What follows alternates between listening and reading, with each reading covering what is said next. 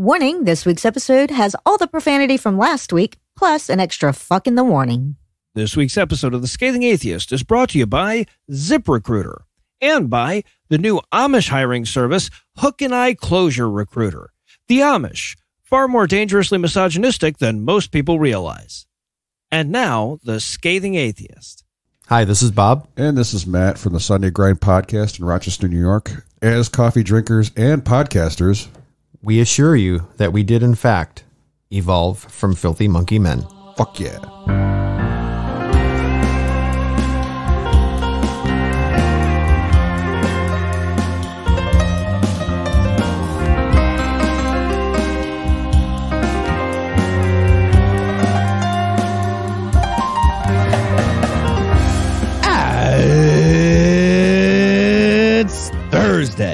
It's April 1st. And now that time has provided the April, we're here to provide the fools. I'm Noah Lugeons. I'm Eli Bosnick. I'm Heath Enwright. And from G. Gordon, Liddy's, New Jersey, R.I.P. Cincinnati Red State and Red Town Blue State, this is the Scathing Atheist. On this week's episode, churches provide their nothing to fewer people than ever. Christianity dives naked into a briar patch to pwn Lil Nas X. and if I told you there was an Anna song, you'd write it off as an April Fool's joke. but first, the diatribe.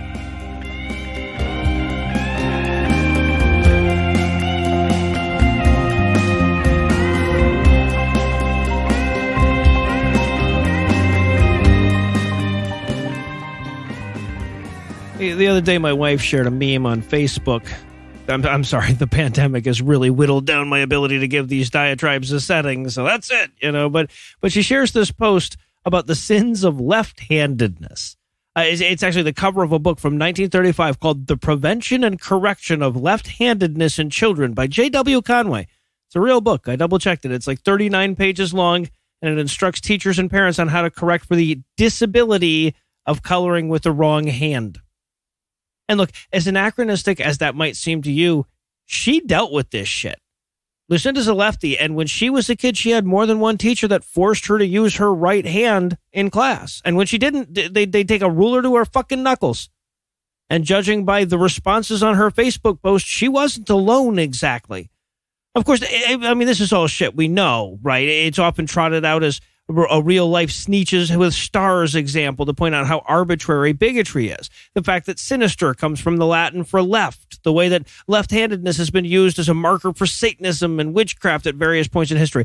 It's something that has existed throughout written history to some degree and is still the norm today, at least in a few countries. Right? It, it seems out of place in modern day America, but it wasn't out of place when my dad was a kid. And it wasn't all the way gone by the time my wife was a kid. Of course, along the way, you know, the idea evolved a bit. Eventually, the literal association with the devil was de emphasized, but people still felt like there was something wrong with those motherfuckers, those lefty sons of bitches. Instead of a sign of devilry, it evolved into a disability. To be clear, though, the people studying this shit weren't at a loss for data to back them up. I mean, left handed people have shorter life expectancies than right handed people. There must be something wrong with them, right? Uh, Of course, a a lot of that's because they're forced to move through life in a world designed for right-handed people, and that predates the regular use of scissors. I mean, uh, the, the the phalanx is designed for a right-handed spearman. The staircase is designed for a right-handed swordsman. But when you're not seeking an alternative explanation, you don't find one. So all of that was ignored in favor of the solution they'd already decided on: hand conversion therapy. The key, though, is that none of the shit that Christianity condemns today is any less arbitrary than this. Their misogyny, their homophobia, their transphobia, their tirades against abortion, they're all rooted in the same random happenstance that had them trying to beat the left handedness out of their children. If anything, the other things are more arbitrary since the Bible spends a lot more time expressing a preference for righties than it does condemning gayness or eh, fuck, abortion never even comes up. I mean, at least not in a don't do this kind of way. The misogyny is a theme so pervasive that it could damn near be called the plot. But if you're using the Bible as your guide, the other stuff is pretty minor compared to the sin of left handedness. Look, there are two types of religious morality. The better one of the two is the bullshit attempts to retrofit modern morals into the scripture. The Bible is like most holy books in that you can pluck whatever the hell you want out of there if you're willing to ignore all the shit that comes before and after your sentence of choice. So if you just want a Jesus that supports trans rights and abortion access and gay marriage, you can find one in there. If you honestly assess what this Jesus character in this book is all about, you're never going to land on that. But if you're willing to ignore all of that shit, you can pound the square nail into the round stigmata or whatever. Of course, in so doing, you're elevating the words of a guy who doesn't actually think the thing that you're trying to sell. So it's a roundabout way of getting morals. And and even if you succeed, all you've done is reset the clock on antiquation of your morality. Something tells me that we haven't yet reached peak morality as a species. So whatever you manage now is just going to need reinterpretation down the line and probably inhibit moral growth in between. And that's the better type of religious morality. The other type is the arbitrary shit that we spend most of this show dealing with. You know, sometimes it comes from the same process. You start with your biases and then you just cherry pick the justifications. But other times it's just an outgrowth of the arbitrary nature of books written hundreds of years ago from cultures long dead. But most of the time, it's just a self reinforcing cycle. And it's pointless to try to figure out who's eating whose tail because when it comes to hatred, religion is often both the cause and the effect. They're talking about your Jesus. We interrupt this broadcast and bring you a special news bulletin. Joining me for headlines tonight are the winking and blinking to my nod, Heath Enwright and Eli Bosnick. Fellas, Um, are you ready to put kids to sleep? What? Uh, it's an 1800s Americanized version of a Dutch lullaby. Heath, read a book. Or the note that I put on there? What, yeah. what book is so that? it turns out that there are a finite number of, of trios. So while I find some better sources, we're going to pause for a word from this week's sponsor, ZipRecruiter. If you're a business owner who's hiring, it can feel a little like this. Okay, I'm pretty sure this is the needle. uh, nope. That is still hay. Aha, but it's sharp hay. All hay is sharp. That's why this is hard. That's why you should try ZipRecruiter for free at ziprecruiter.com slash scathing. Okay, what about a big magnet?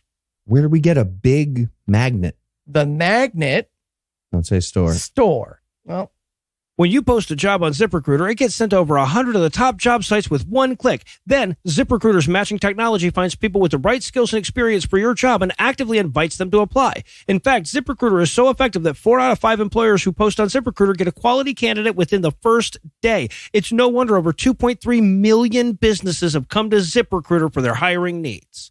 Okay, what if we just set it on fire? I feel like that's not in the spirit of the activity, But, though. but that would work. it would work. So while other companies overwhelm you with too many options, ZipRecruiter finds you what you're looking for, the needle in the haystack. And right now, you can try ZipRecruiter for free at this web address, ziprecruiter.com slash scathing. Once again, remember to go to this unique place, ziprecruiter.com slash S-C-A-T-H-I-N-G. ZipRecruiter, the smartest way to hire. Okay, what about a magnet that's on fire? Not better. Beans. And now, back to the headlines. In our lead story tonight, I know it doesn't feel like we're winning, but we are. We are. It's hard to tell because the more we whittle down the ranks of the religious, the louder the remaining assholes get, so their total volume is steady. But if you look at the numbers closely, you'll see that it's ever fewer people screaming themselves ever hoarser. And we were reminded of that yet again on Monday when Gallup showed that in 2020, for the first time, the majority of Americans did not belong to a church, synagogue, or other religious congregation. Nice. Good stuff. And uh, now that they're in the minority, they're going to be way cooler about all the persecution we do, right? Like that's a, Yeah. they're all about that. And Riffer doesn't count anymore. There win, go, win, yeah. win, win, win. Yeah, we did it. That's everyone. All wins. So I, I should be clear about what we're talking about. This is not about church attendance, though that's down too. The majority of Americans do still attend a church more often than never. And the majority hasn't attended a church weekly in decades. What this survey looked into was the self reported membership to a church. And to many of the never religious or never all that religious, that might seem like a distinction without a difference. But if you're the one trying to balance the church's books, it matters a lot right? Because both of them lead to fewer wallets in the pews, but membership also leads to fewer names on the mailing list. And fewer kids to rape. It's a real loss all around. No, for the exactly, exactly. They lose their fringe benefits too. Now, Gallup has been tracking this number since 1937. Back then, 73% of Americans were members of church, synagogue, or mosque. which which means that 72 point something percent were members of a church. Over the next 60 years, though, that number barely moved. By 2000, it had gone down a bit, but it was still hovering around 70%. And then the internet happened. And it's been tumbling downhill ever since. Hell, even in the time that we've been doing the show, it's dropped by nearly 10%. You're welcome, everyone. You hear that? We caused 10% of all the Nope, atheism. not No. how numbers work. But the point is, the vaccine chips, they've barely even kicked in yet. It's going to get even better than whatever Yeah, it is. exactly. That's is good. Exactly. Now, interestingly enough, by the way, the precipitous decrease in religiosity only accounts for about half of the recent decrease in church membership. In other words, people are losing their church membership at twice the rate they're losing their religion. Or damn near it anyway. Gallup attributes the other half to the fact that fewer American Christians express a denominational preference, and for them, most of whom only rarely attend a church service to begin with, any old church will do. I mean, as long as it's not uh, Catholic or or Mormon. Listen, we will bounce around to different venues, but we are not doing good works. This is fucking America. exactly. And I, I'm wearing the underwear I came in with. This is then. I'm not so, not doing yours. So I, uh, one other nugget of good news to tack onto this story, although I'm sure you'd have guessed it even without me mentioning it, there's a big generational difference driving this decline, and reason is on the right side of it. 58% of boomers are members of churches, 50% of Gen Xers are, 36% of millennials are. There are no hard data on younger generations yet, but all the soft data points to an increase and even an acceleration of that trend. Even more importantly, because these numbers stretch back to the 30s, we can see where we compare to other generations at our ages. And given all that, there is every reason to believe it'll be impossible for Eli's grandkids to remotely understand what the fuck he did for a living. Yeah. And not just because I'll have to explain what a podcast is. Although So- it'll also be that, right? That, they'll have too. that to get over too. It's like the singularity, but no, it's hard Do to you know how it implants the knowledge in our brain? Ah, it's never mind. And in Canada news, Canada is better than America in so very many ways. They have universal health care. You don't have to wear a condom. Still got to work on them. And when their COVID denying pastors break the law, they go to jail for it, even if it's just for a little while and to prove a point. So the pastor in question is James Coates at Grace Life Baptist Church in Alberta, who is Canada's own Tony Spell. Except He's he's so silly looking. he is very silly looking. Uh, he's yeah, he's their Tony Spell, except without the vehicular manslaughter attempt and the viral Twitter challenge that our listeners filled with gay porn. Yeah, what, what we're saying here is that Canadian Heath needs to up his game. Also, James Coates looks like Carrot Top went on a local morning show for a makeover. Oh my god, he does. does. like some sort of face thing Yeah. too, like not just a plain makeover. Like they tried to do another face thing, like a third face thing. Yeah, what not to forbear? What? I don't know what that means. What happened to Carrot? Whatever. Not not what we don't have time. So Coates insisted that physical distancing, wearing a mask, and not playing hock the loogie in each other's mouths violated his religious freedom. And Canada is such a lovely place filled with trusting, wide eyed, non condom using gentlefolk Still got to wear a condom. that Alberta Public Health showed up at first to help him move chairs around and shit. he, he had to stop them and explain, like, no, I, I don't need help from the social safety net. I'm an asshole. Right, I'm- right. He's like, no, no, no. I, I get, I, I see why you thought that, but no, I am the public health hazard in this instance. That's yeah, no, it's me. Ah, and you're enclosing me in a giant cage of chairs now. Okay. Should have seen this coming. interesting. My fucking chairs. so shortly thereafter, he was arrested and released on bail, pending his willingness to, you know, stop killing people, which he made it clear immediately he was not going to do. But luckily for us, Coates is going to take his case to the top. And that might be fantastic news for sanity. See, mm. the Crown actually dropped the majority of the charges against him pending his release, but they left one on there. They have to call it the crown. I like yeah, right. Yeah, I also like that. And you give you picture a swan in a crown, Yeah, Yep, absolutely. like Of course. silly little wig. Well, goose. It's it's Canada. You would p- picture Right, of course, yeah. and Coates and his crack legal team at the Justice Center for Constitutional Freedom want their case heard, releasing a statement that said, quote, the single charge remaining has not been withdrawn, as the Justice Center and Pastor Coates want the matter heard at trial to determine the constitutionality of the public health order that churches should only hold worship services at 15% capacity and to compel the government to produce scientific evidence that might support these violations of charter freedoms. Oh. End quote. Oh no! Wherever will the Canadian government find evidence that churches are harmful? Oh my god! exactly. And because Alberta's courts aren't filled with lunatics, he's probably going to fucking lose. Uh-huh. Now, yeah, don't get me wrong. I'm not saying this is a shoe in. I can't believe they got away with theocracy is our business model here at the Scathing Atheist, but there is a chance, a good chance, my friends, that Alberta is going to officially and legally tell him to fuck his face. Please. Because Canada. Can we just enter the defendant into evidence? Is that the thing? And in Saved by Canadians the Anti- don't use All right, condoms. Still got to use a condom.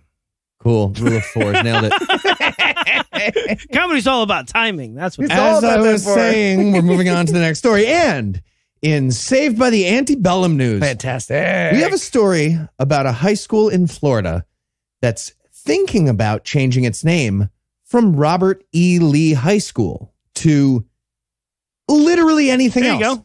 Anything else? They could they could become the Pol Pot Academy, and it's less problematic. Where they are, yes. hmm yes, that's absolutely true. And just to be clear, they're having that debate about Robert E. Lee right now in 2021. Apparently, they've been honoring Mr. Lee for his uh, great humanitarian work in dealing with that terrorist John Brown who raided the, the federal arsenal at Harper's Ferry back in 1859. And, you know, that's just being a patriot. Uh, that's Robert E. Lee being a good American. But they recently, very recently, got a tip about Robert E. Lee's uh, brief stint as the general of the Confederate Army. hmm Yeah. And that might be a factor in some direction. They're not sure. So now they're thinking it over. Mm. All right, okay, listener, you may have missed it because he disguised it as a joke, but I caught Heath trying to sneak in the. But he also did a less bad thing once, apologetic about his direct ancestor, Robert E. Lee. I It's also related to Grant. It said cancels. I cancel. Some fine generals on both sides. they fucked each other and he is the Listen. result. Listen, I, I just I just want to repeat what I said before. They are thinking it over. Yep. This is a tricky issue for the school board in Duval County, Florida, and they needed to call a series of town meetings to get the input of the people who live in Duval County, Florida about this issue. That would be the Jacksonville area. Mhm. Um, Noah, you're pretty familiar with this region and its culture, I guess would be the word.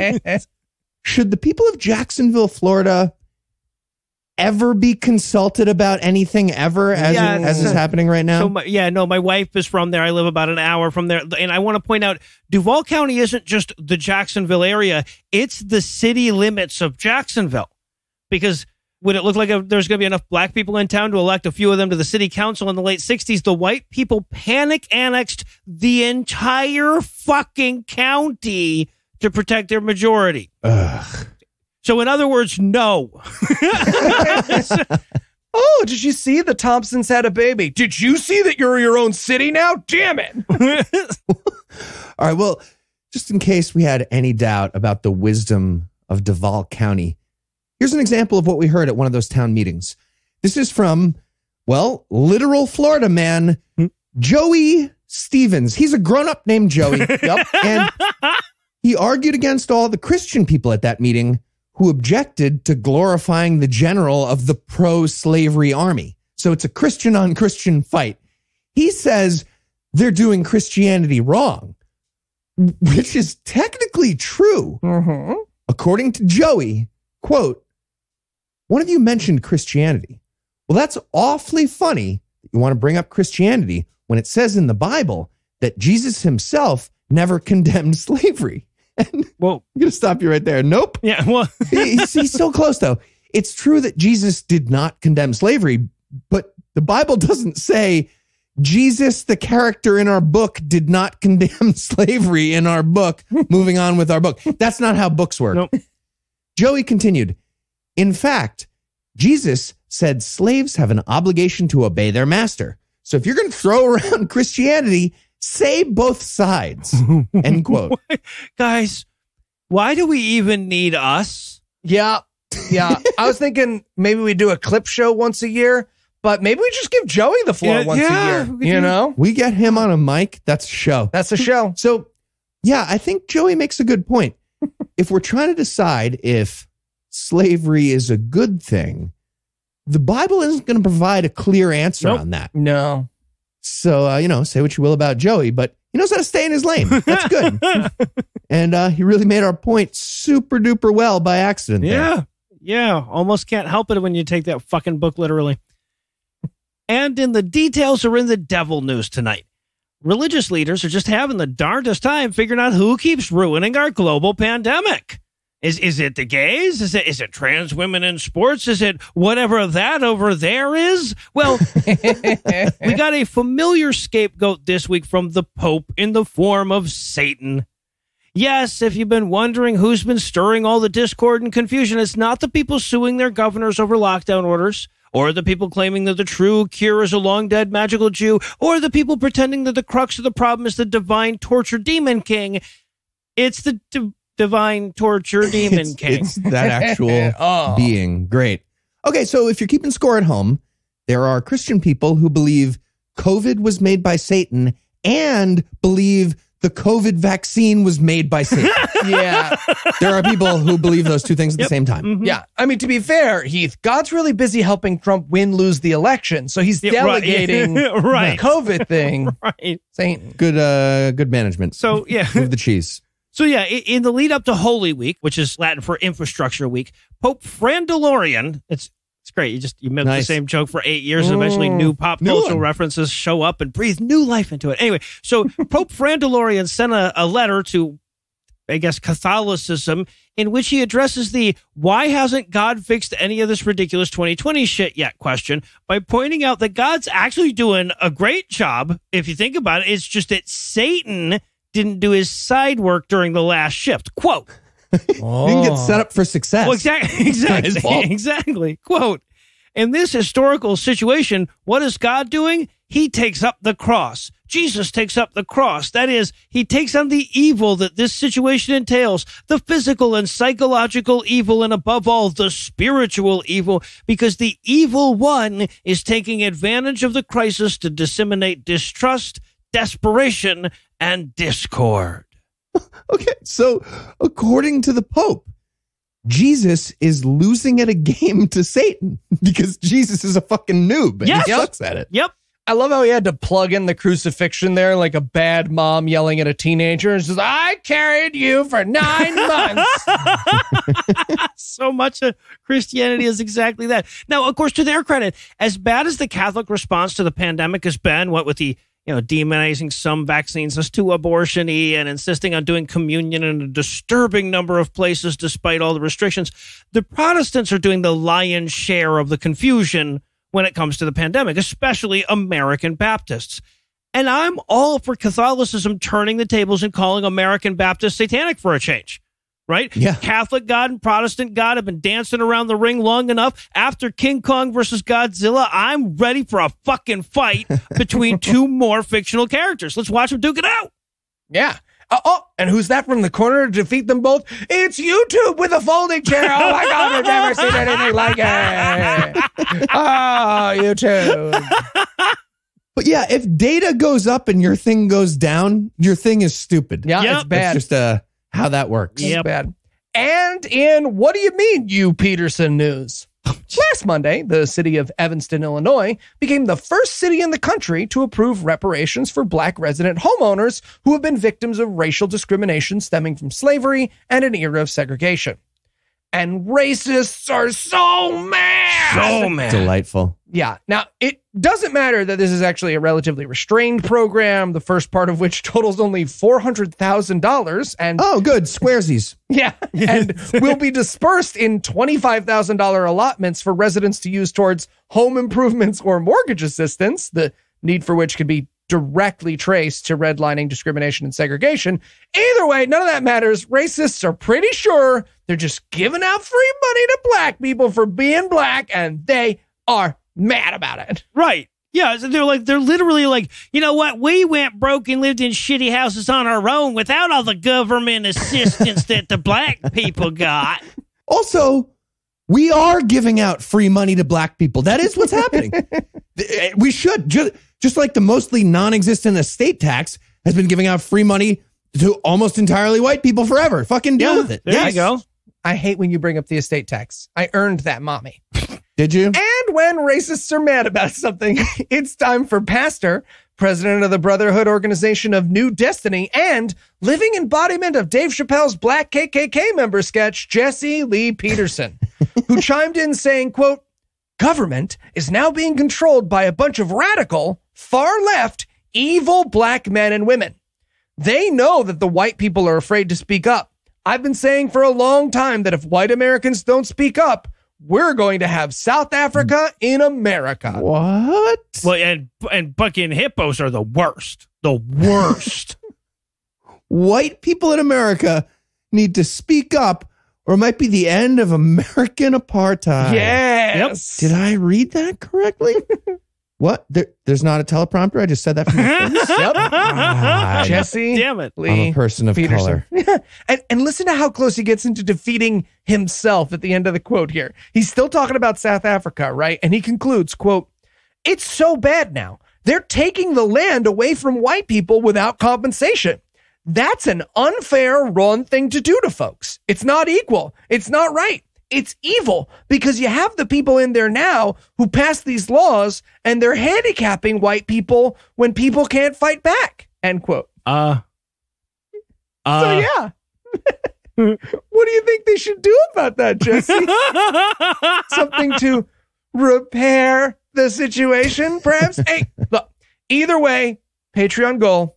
We will send Jesse Lee Peterson a mirror. It's going to wreck his whole Oh, thing. fuck yeah. Yeah.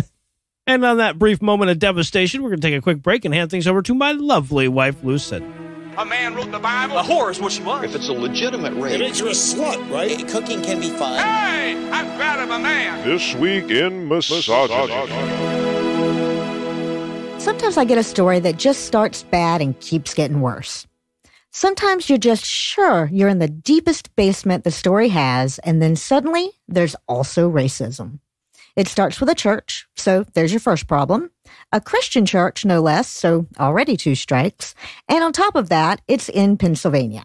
And not even one of the two places in Pennsylvania that don't entirely suck. So this story struck out before it even picked up the bat.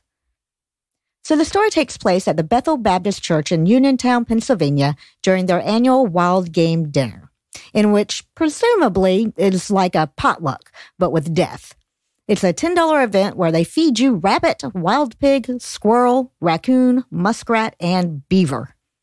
A list that, honestly, is like a carnivorous microcosm of the story in the sense that it just keeps getting less appetizing. So during the event, they have a raffle. And one of the prizes was a $200 voucher towards a Canadian fishing trip with a guest pastor and prolific animal killer Dan Lamb. But when they drew the name from the bin, damn it if it wasn't a lady name.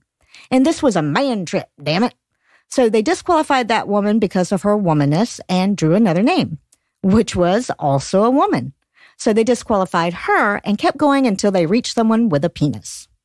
Well, the second woman disqualified talked to the local news about this and brought a bit of heat on the church, so they responded and didn't make it better.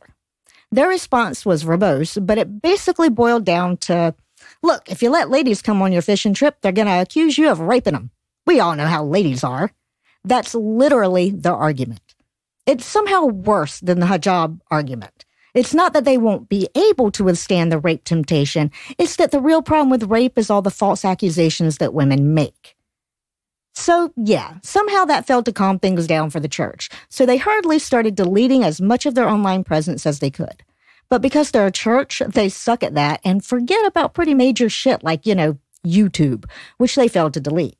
Which is why we know that at least one of the sermons they took down included a white pastor holding up a picture of an African American pastor and saying, quote, You can't see him, he's a black man so he hides in the shadows real easy. You know what I'm trying to say? End quote. followed by uproarious laughter. See, like I said, just when you thought you were in the deepest subbasement, there was also racism. And with that quick reminder of why I don't always have it in me to do this segment every week, I'll hand things back over to Noah, Heath, and Eli. Thank you, Lucinda. And in join or no joining news tonight. Fantastic. Thank you. Thank you. Being a parent, it's got to be terrifying. I I know watching Eli do it scares the shit out of me. So you, Me too. you just got to be sitting there constantly thinking to yourself, like, am I doing this right? Am I patient enough? Am I stern enough? Am I passing my anxieties and my angst onto my child? Is there any way to navigate this precarious road without burdening the being I most love in the world with permanent psychological damage? I'm sorry. Is it is it um is it like that, Eli? Sorry, no, I was checking the temperature and humidity monitor I had installed in my son's room since he was born that I check compulsively every 30 minutes. You were saying something about how chill and cool I am as a parent. How cool and chill I Yep, am? sure. Yep. Why not? Not Why passing not? on anxieties and angst. Right. Yeah, no. But when those questions plague you at 72 night, degrees? Get the fuck out of here. Is this the Sahara? But so here's the thing. When those questions plague you at night as you try to steal away whatever precious sleep your child will allow you to have, you can at least take comfort in the knowledge that no matter how bad you fuck up, you will almost certainly never have all of your kids talk to a New York Times columnist about how much they fucking hate you. And that makes you a better parent than Rick Joyner. Okay. does. If if that's not my Father's Day card this year, I will be sorely disappointed. I just want to be clear. Rick Joyner had four more family members do that to him than Donald Trump. That's not Yes. a good sign. right. Mary Trump's Right. the best. Now, eh, we- we've talked about Joyner on this show before, a, a lot, actually. He earned a spot on our repeat offenders list by claiming to resurrect people from the dead, saying that he made it rain inside a building, and taking credit for preventing all the hurricanes since Katrina with his God powers. Uh, or the, the, ones that didn't hit us anyway. But, but here lately, he's descended to a level of madness that somehow exists below all of that shit, and it involves provoking civil war. Take me there. What? Well, yeah. So he spent the last several years encouraging his congregation to arm up for the impending war against the non Christians, a group he insists is allied with the devil. Got it. Yeah, well, they don't have to worry if they die. He, Rick Joyner will just bring them back. This is a no lose scenario, people. Gotta say, I'm looking forward to the war though. Like, we're gonna raid his house, and he's gonna be like, "Rain indoors, rain indoors, rain indoors." Okay, it didn't really help. yeah, no, the guns still fire now. I thought that'd be a better power. So apparently, we- we're not alone in speaking out against Rick Joyner's dangerous dumbassery. All five of his kids spoke to New York Times opinion writer Nicholas Kristof in condemnation of their father's efforts to provoke a war between evangelicals and Democrats, an issue with relevant urgency given that all five of them are Democrats. And when this was pointed out to Rick, the best he could offer was, quote, I hope my kids don't get involved in the violence, but it's coming, end quote. So, so in other words, I hope I don't have to kill my kids for being Biden voters, but I'm willing to. I'll fucking do it though. Right. Do it. I'm just saying, your Thanksgiving could too be worse. Uh, Joyner's kids should all go this year and just jump him. Like, man. 50 50, we hear about that. and finally, tonight, in Lost Souls news, Finally Yes. not all heroes wear capes, Mm. but sometimes they wear satanic sneakers with a drop of human blood in the sole. Of course, I'm talking about Montero Lamar Hill, also known as Lil Nas X, the rapper who elevated shitting on religion to an art form and a business model. yeah. He's like us, but successful. Right? Yeah. And uh, normally that would mean I'm extremely petty and jealous, but he did it so goddamn well. He's the hero Gotham needs, and we have him. And he might as well be laying a literal trail of satanic breadcrumbs for the Christian right that leads all the way to the bank.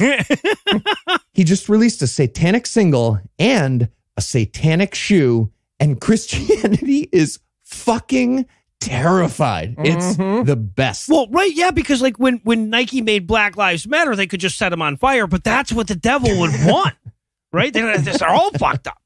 So let's start with the shoes.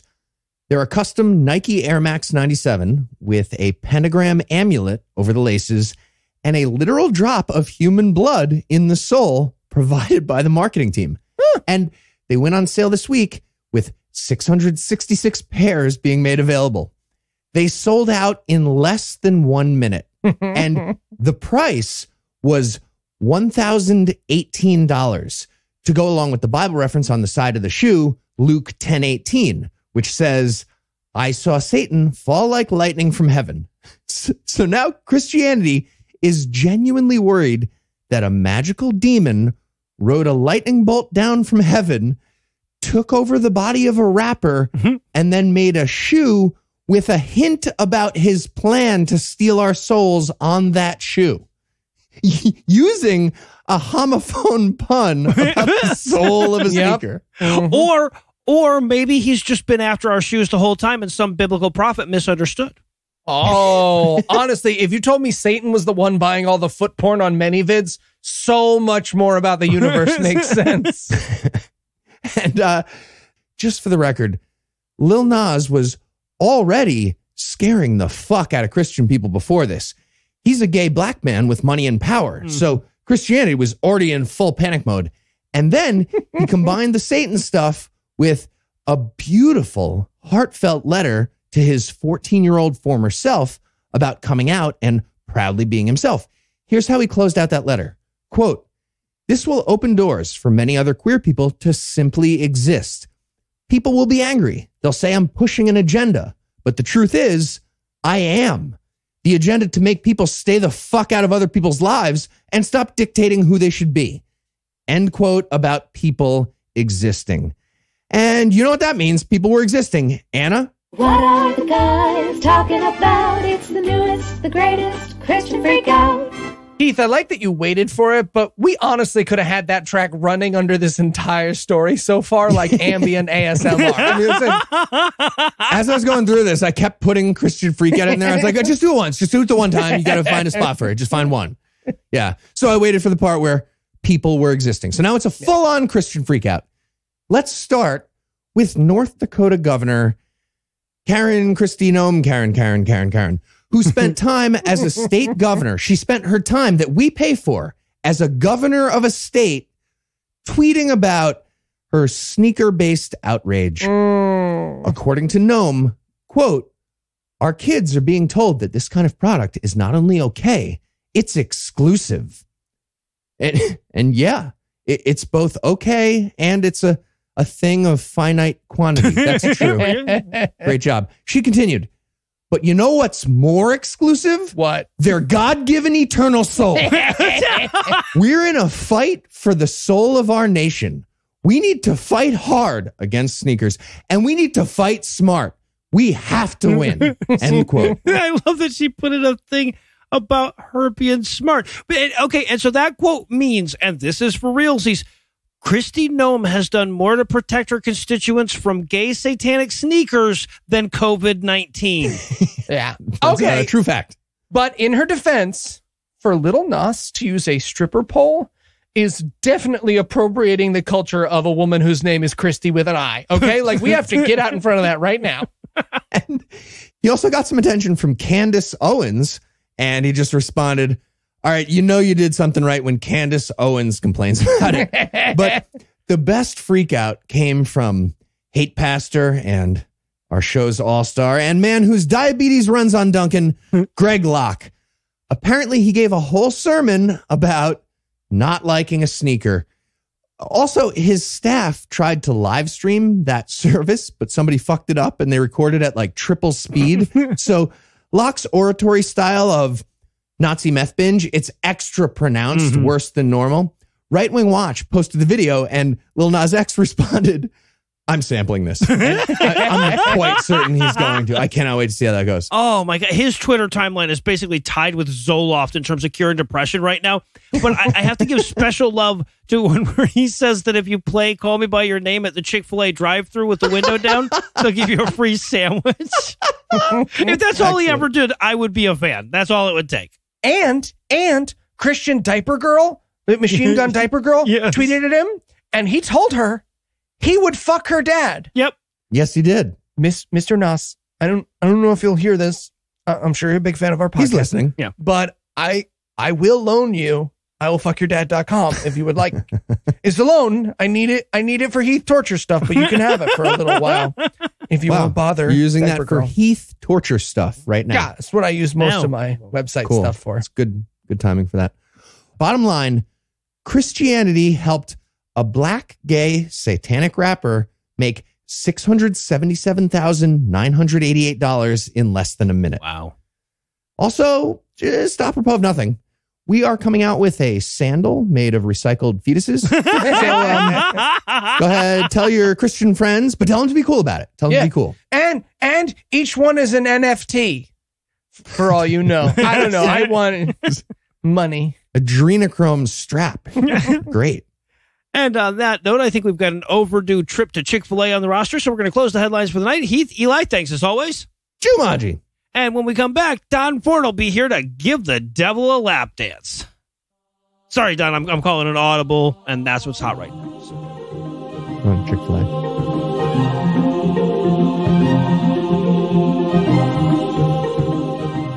Whack whack whack whack whack. Here's the thing about I'm telling you, space. you got to be madder about the space. You got to be angry about it. Here's the thing about space. Hey, guys. Okay. Guys, what you doing? Oh, uh, we're practicing for when you get your teeth fixed. Yeah. Uh, Eli's getting there. People won't even notice when you're gone. I think it's fine. Th- thank you for your sensitivity to my upcoming oral surgery. Oh, yeah. No problem, man. Yeah, Anytime. you are welcome. Uh, so, you, are you guys ready to do some Bible piece Theater?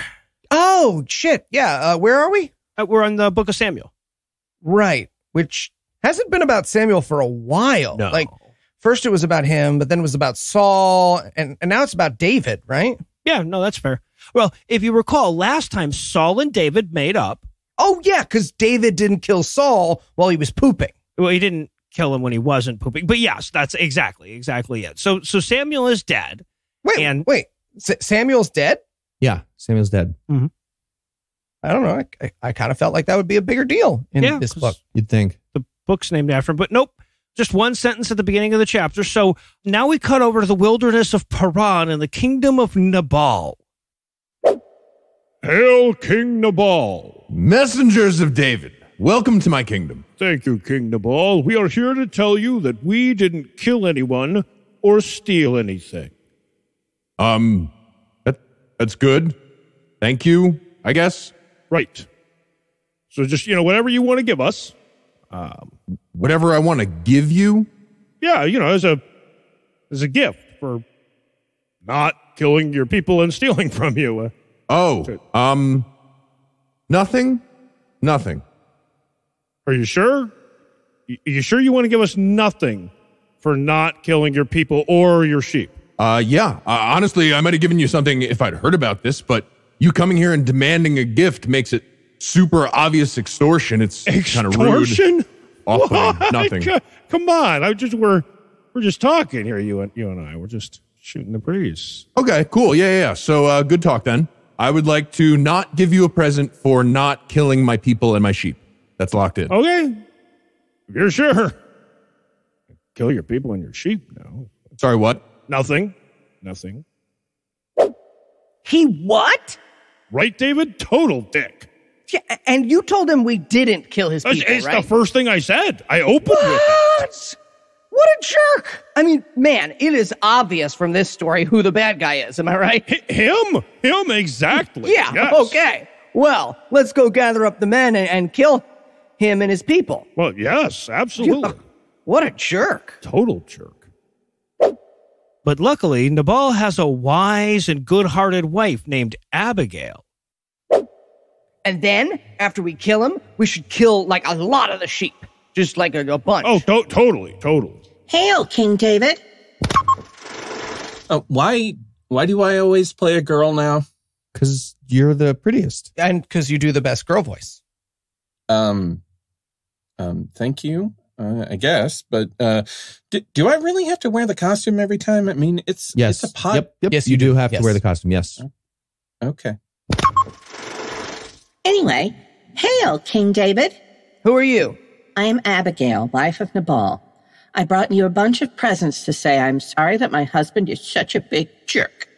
Please don't kill us, and you are totally God's bestest boy. Hmm. I am God's bestest boy. Hmm, see, told you. Okay, I won't kill you. Sounds good. Oh, sweet. Thank you. Abigail, where have you been? Oh, hey, Nabal. I brought a bunch of gifts to David so he wouldn't kill us, and I apologize for you being such a jerk. What? Grumpy what? No, pants. I wasn't a jerk. He came here and demanded a present, and then when I said no, he was going to kill us. In no possible universe is that a good person. Oh man, my chest hurts. Ugh. Oh. God must have killed him for his wicked ways. No, no, sometimes people just die. Oh, well, I'm going to go marry David now. Mm. Dead. Good story. Yeah. Liked it. Yeah. hmm So Saul tries to kill David again, but David sneaks over and steals his shit while he's sleeping. So Saul goes home. But apparently, after the 18th murder attempt, David finally gets the message and goes to work for the king of the Philistines, Achish. Wait, the Philistines? The ones he's been killing for like the whole book. Yep. hmm Okay. David, buddy. King of cheese. I haven't seen you all day, man. Where have you been? Oh, you know, murdering. Oh, murdering again. Yeah, that's that's fun. That seems fun. Yeah, I um I massacred the Geshurites and the Gezerites and the Amalekites. Oh man, that's a lot of murder you've been up to. I mean, what can I say? I love to murder. oh man, you sure do. But aren't you worried Saul and the Jews will be mad at you? You know, for murdering people for us. You know, why do you live here? Ah, don't worry about it. I, I do not leave any witnesses, so who's gonna tell? You know? Oh, right. Nobody can tell. Sure, this is kind of like your, you know, a side project. Exactly. Yes, this is my Graceland. Oh, love it. Such a good album. Right? Call me Al. Oh, diamonds on the soles of their shoes. So good. So good. It is just like that, but murder. So, I know this is crazy, but say any chance you'd want to massacre the Israelites next, you know? Ooh, I don't know. If, if I massacred the Israelites, that would kind of cast a pall over my character and make me seem, you know, less of a great warrior king and more of a, I don't know, crazy murderous mercenary for hire. Wouldn't that? I mean, yeah, kinda, I guess. that I'll do it. I will do it. That is awesome. Thank you, brother. Yeah, I just really love murder. Oh, I know you do, man. Um, servant. yes, Saul. I, I see that the uh, Phil- Philistines, whatever they call themselves nowadays, I see that the Philistines gather an army outside our gates. Bring me a soothsayer so I can know how this battle will go. Oh, um, sir, you put you banished all the soothsayers. Oh, I did, didn't I? Uh, what about Samuel? Dead. Really? I, I, I thought that would have been a bigger deal. Right? Yeah, the book's named after. it, But no, yeah, but I hear there's a lady with a uh, familiar in Endor. In Endor, huh? That's right. You mean like that place in Star? Yep, yep, yep, yep. Copyright. Uh, uh, like that place in the stars? Yep, every place is in the stars, exactly. So Saul disguises himself and he heads to Endor. Hello? How can I help you? See, Don, you don't always have to play the girl. Okay, yeah, I guess so. But uh, Heath, why did you buy a matching outfit just for this part of the podcast? What? No, I was so wear this anyway. I mean, I'm just embarrassed now. Comfortable. Okay. Anyway, how can I help you? Yes, I've uh, heard you have a familiar. Shh, keep your voice down. Hmm. Saul's been banishing everyone with magic powers. Oh, um, yeah. Don't don't worry about that. Okay, so uh, what do you want? Can you use your familiar to bring someone back from the dead? Sure, sure. Uh, Carl? Carl, question? You rang? Your familiar is a flying dog with a horn. It's a pug a peg. Plug a pegacorn. Yeah. So why is he wearing a teddy bear costume? Okay, well, originally I was going to be an Ewok, but legal lost their damn minds. so now I am a Pugga Pegacorn. This is a compromise. Kazendor. Yes, yeah, Kazendor. Kazendor. Right. Got it. So anyway, you want to raise someone from the dead for me? Yeah, absolutely. Let me just uh, cast this spell. Hibbity bibbity. Make sure you check out D&D Minus on iTunes, Stitcher, and wherever else podcasts live. Seriously? Really? What? That's the spell. That is the word. I don't think that's the spell. I think you made that up. Who has woken me from my death? Samuel! Uh, you didn't tell me you were going to summon Samuel. I mean, to be fair, you're Pega Pega. Yeah, whatever. Pegacon, it's not yeah, hard. yeah, right. That thing, whatever. Sorry, did someone want me to, to do something? Uh, just rose from the dead. Oh, Anything right. to do? Sorry. Uh, first off, how are you? Good to see you. Uh, I'm dead, man. I'm dead. Oh. So let's just get right to it. What do you want? Okay, fair. Um, what's up with this battle? God won't talk to me, and I cannot find any fortune tellers. Because you banished us all. Okay, not the time. All right. I mean, she, she has a point, kind of. Okay, th- Thank you. fine, fine. The battle. Oh, um, it's literally what I told you before I died. God is mad at you, so he's gonna kill you and and your sons and give your kingdom to David. No.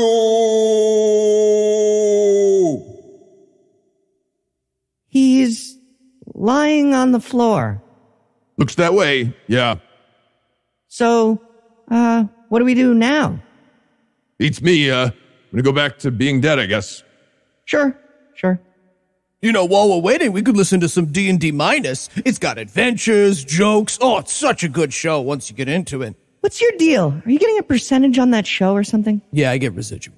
Okay. Meanwhile, the Philistines are getting ready for the big battle. A cheese. How's it going, man? Oh, not bad, fellow Philistine. You guys ready for the big battle? Yeah, hell yeah, man. i Gonna kick some Israeli ass. Oh, yeah. Who's, who's who's this guy? Oh, man, this guy's cool. This is David. Hi. I'm sorry, David, the Israelite. Uh, yeah, but don't worry. He's cool, man. Okay, but isn't isn't he the guy who like there's a literally a song about how many of us he killed? Oh, yeah, I mean, there's a song. Here is. But, you know, he's cool now, man. I'm sorry, he's cool now. Oh, he's totally chill. Okay. Okay, well, you know, just in case this entire book has been him breaking up with and then making up with his boyfriend, we're not going to bring him into battle because, you know, he'd, he'd probably cut off our heads and make up with his boyfriend. Oh, man, David. Is that the kind of thing you would do to me, man? It, it really is, yes.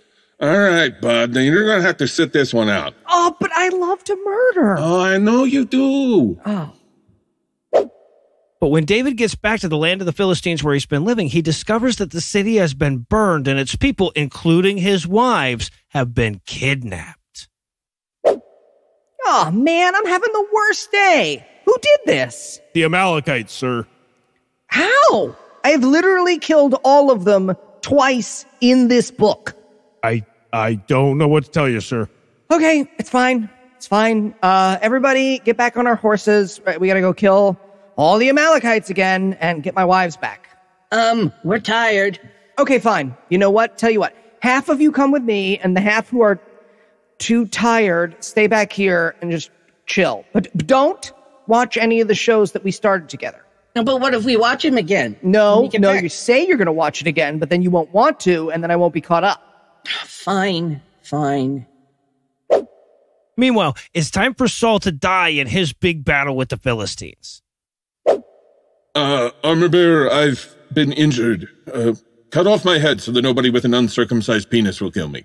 Oh, uh, feels like a weird classification. Does it? Uh, maybe just say you don't want to be killed by your enemies. Um, no, no. Armor bearer, see, listen to me. They're dicks. They're dicks. They look super weird, and I, I can't have a guy with a weird dick kill me. Not, not, not a weird, intact dick armor bearer. D- do you understand me?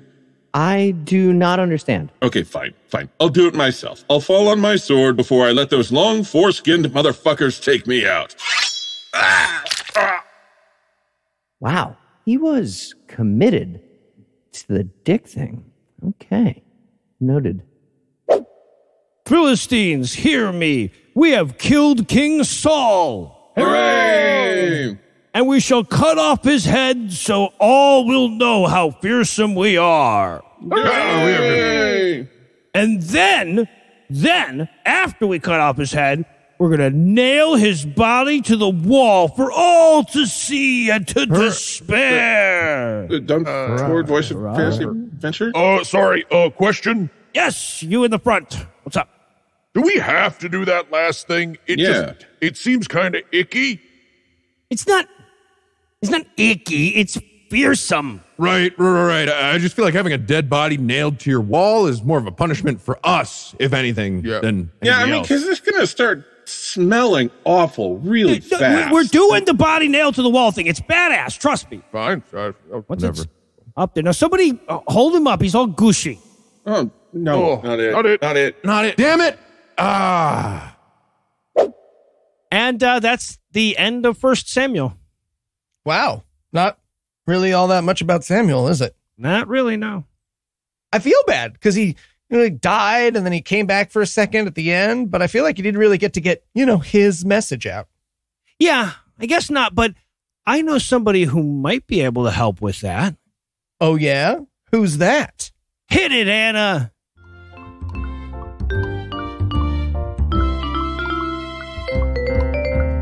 I am Sam, Sam I am, but maybe not the Seussian that you've all seen. That's Sam I am, that's Sam I am. Do you like the Philistines? I do not like the Philistines, for God has said they are unclean. I want to do things really mean to every single Philistine. Wow, Sam, you gave us a scare. Would you like them here or there? I wouldn't have liked them here or there. I wouldn't like them anywhere. I thought that God had made that clear. Let's take to them with sword and spear. I'll slaughter each one like a lamb. Or my name isn't Sam, I am. I am Sam, Sam I am. And surely you exaggerate, complain, and grouse. You would not, could not here or there. But would you like 'em in a house? We should burn them in their house. We should plague them with a mouse. We should kill each child and spouse and treat them like a pubic louse. Now, Sam, your feelings denote. But would you like them on a boat? I'll take their stuff and burn their boats, catch and kill their sheep and goats. We should do what God denotes and slit their motherfucking throats. I don't give a tinker's damn. I just don't like 'em, Sam. I am. I am Sam, Sam I am, and I still want to murder them and kill their flock. You would not in a house or boat, but would you like like 'em in a box? Well, sure, as long as that thing locks, I'd feed 'em to a hungry fox and plague 'em with the burning pox upon their normal uncut cocks. But surely, Sam, it's in God's plan that you might like 'em in a van.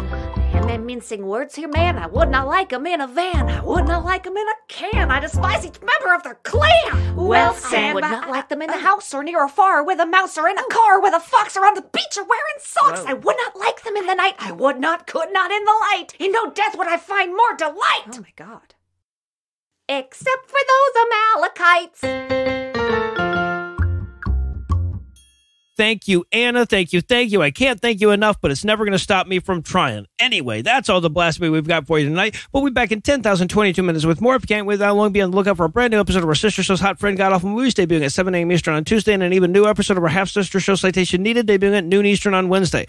Obviously, this show outro wouldn't fit in my mouth right if I neglected to thank Heath Enwright for always bringing the truth. I want to thank the lovely and talented Lucinda Lugeons for always dispensing the justice, and I want to thank Eli Bosnick for physically exemplifying the American way. I also want to thank Don Ford, voice of fantasy and adventure, and premier puzzle in a thunderstorm bracketologist, at least so far. Also want to thank Anna one more time, of course. Also want to thank Bob and Matt from the Sunday Grind podcast for providing this week's very coffee flavored Farnsworth quote. If you can't get enough coffee in your life, be sure to check out the show notes for a little oral caffeination. But most of all, of course, I want to thank this week's best people Aaron Prosody, Julie, Elvis, Adrian, Craig, Christopher, Kevin, Steve, Average Republican Turkey, Nat Kolb, Caitlin by the window, and Rye Bread.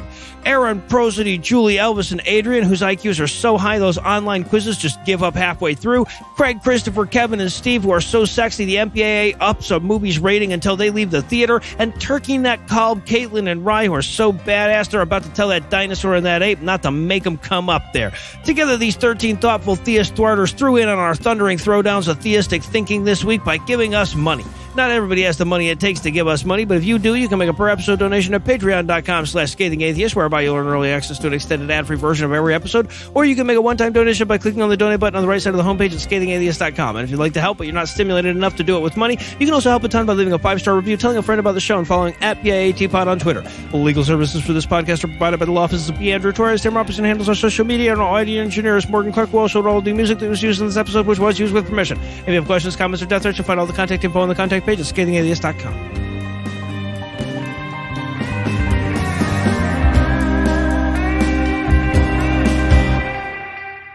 I'm just going to warn you guys, just be ready for it. The longer we go, the inevitably the weirder my trio intros are going to have to be. I'm going to I'm going to exhaust all the Dutch lullabies first, but then I'm moving on. The preceding podcast was a production of Puzzle and a Thunderstorm LLC, copyright 2021, all rights reserved.